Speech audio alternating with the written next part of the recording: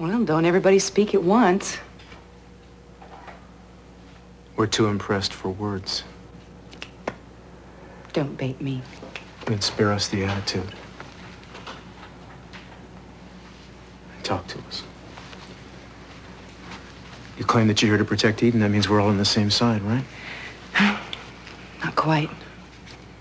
Lisa, Hmm? What exactly is it about Eden's relationship with her mother that disturbs you so much? You're the one with the couch for rent. Why don't you figure it out? So much for her undying devotion to her alter ego. You know, I would think that if you really wanted to help Eden, it would kind of behoove you to open up to us. Or if you won't, let her. Not a chance. Eden couldn't explain herself even if I let her. And how do you know that if you won't let her try? Because I was there. I was there that day. I saw her shut down.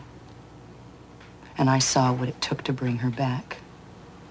Bring her back or keep her from ever coming to grips with what happened? One and the same, Sherlock. What, you think endless hours at a hundred bucks per on Dr. Feelgood's couch dissecting Eden's painful, misguided childhood is actually going to do anything but benefit this shrink's pocketbook? Well, I don't know. You're the one with all the answers. I'll give you a little clue.